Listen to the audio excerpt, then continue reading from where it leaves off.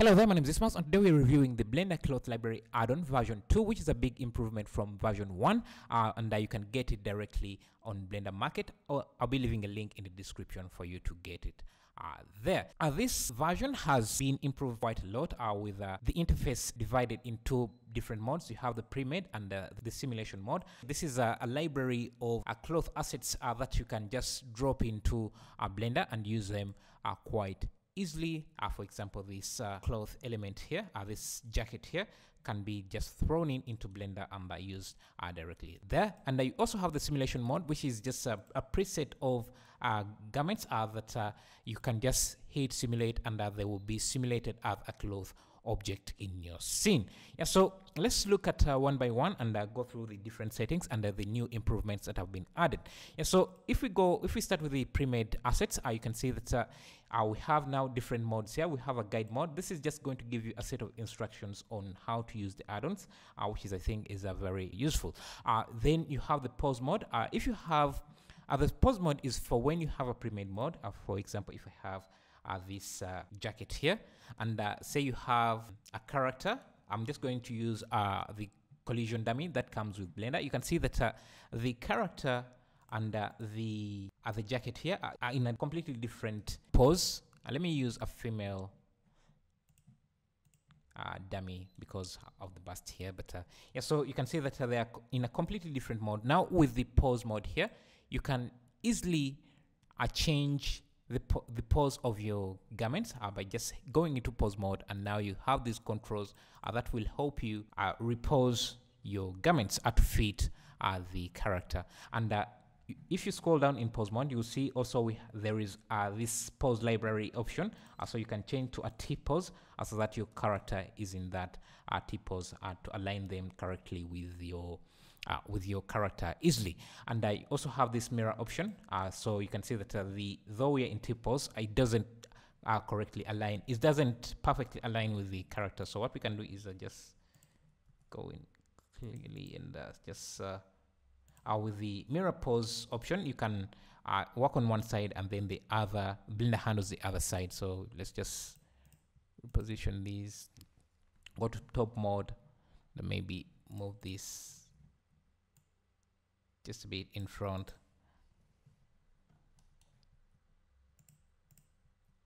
now you see that uh, the hand of the jacket is a bit a bit longer than the character's hand so what you can do is uh, select this and uh, just start scaling scaling them down a bit until you see that uh, uh, the the garment or the cloth garment aligns nicely uh, with your character.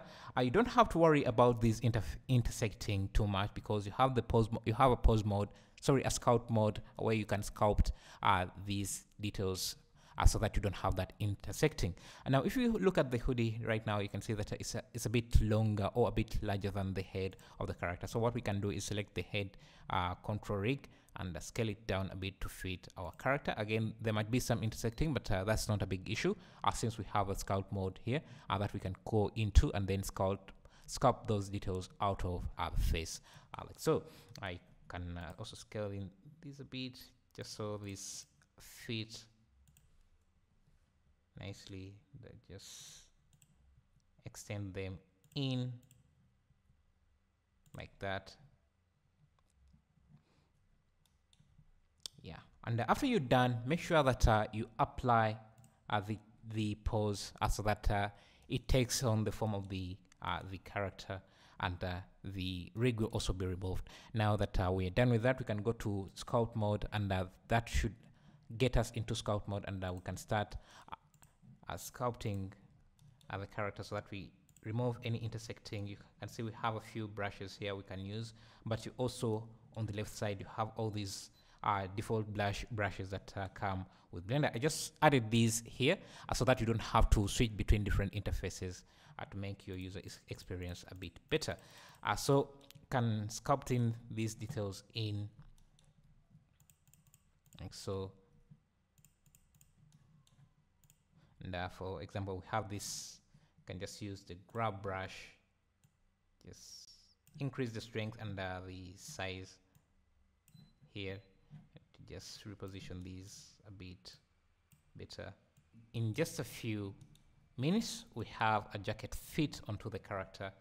Uh, we have a lot more assets and uh, again I'll be adding more especially for the uh, pro mode pro version that is going to be coming up in a few weeks uh, you can pause uh, the rig. So you can have those uh, because this doesn't have any hands I don't have to worry about these. Yeah so let's go into the simulation or simulated mode. I'm just going to hide this for a second and uh, go to the simulation mode. And uh, now let me go to the women section. And let me get uh, this shot here.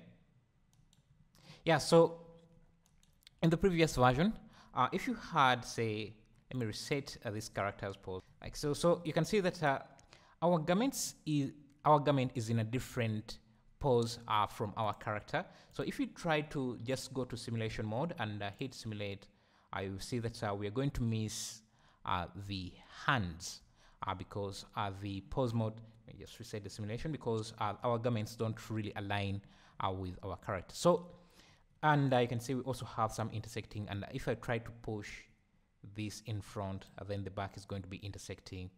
Uh, so to fix that all you have to do is go into pattern mode and uh, turn on add or remove uh, pattern controls and that should give you uh, these pattern controls uh, that you can rotate or move around. And let's go to front view and rotate them rotate the hands and just realign them to match the her hands are like that I think that's good enough. Make sure that nothing is intersecting. Now I can see that uh, this areas here is uh, intersecting. So I can select this and then now go to simulation mode and uh, hit play. You can see now everything fits uh, nicely. As, if you want, you can shrink uh, the cloth or lengthen it. Maybe make it turn it into a dress or something like that. Or shrink it. Make it tighter. Uh, this if you over shrink it it will you'll have a few issues uh, like this. So then you just have to reset your seam. You can just reset your seam and uh, don't over shrink the cloth it will cause a few issues.